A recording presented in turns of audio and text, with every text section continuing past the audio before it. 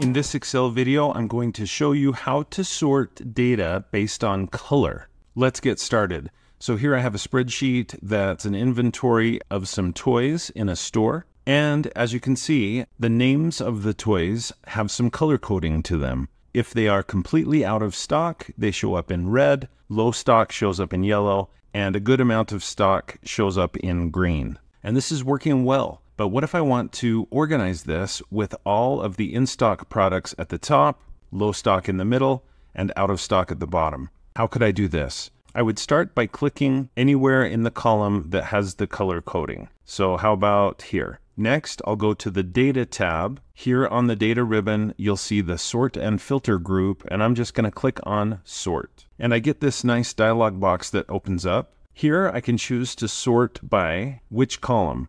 How about the name column? That's where my color coding is. Do I want to sort on the cell values, the information, the text, or numbers inside each cell? In this case, no. Usually that's the one that you want, but in this case, no. I'm going to click to choose cell color.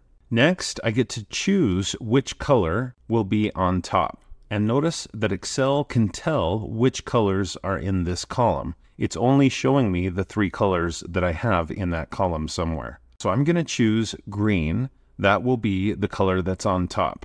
Now, if I click OK, it will do that sort for me. But before I do, I want to add a second level. Now, in your case, with your own spreadsheet, maybe that won't be what you want to do. But in my case, I have three colors. I'd like them all to be sorted. Again, I'll choose name and cell color.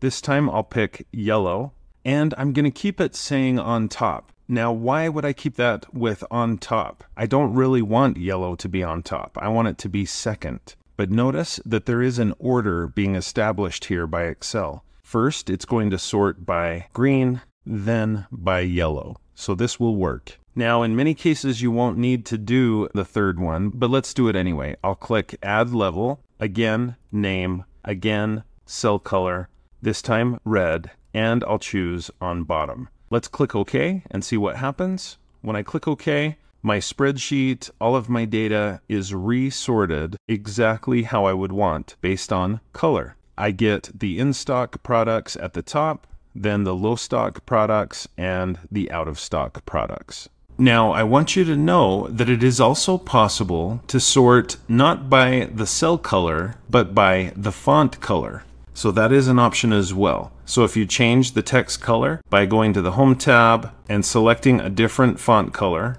you could then sort your data based on the font or text colors. So really, this is one of the lesser known ways by which Excel users can sort their data. I hope you'll give it a try and see ways that it can be effective and useful for you. Thanks for watching. I hope you found this tutorial to be helpful. If you did, please like, follow, and subscribe. And when you do, click the bell and you'll be notified when I post another video. If you'd like to support my channel, consider clicking the thanks button below the video, and you could support me through my Patreon account and by buying channel merch, and you'll see information about those options in the description below the video. Quickly, I want to give a thank you to my $5 Patreon supporters. Thank you so much for all you do to support the channel. I really appreciate it.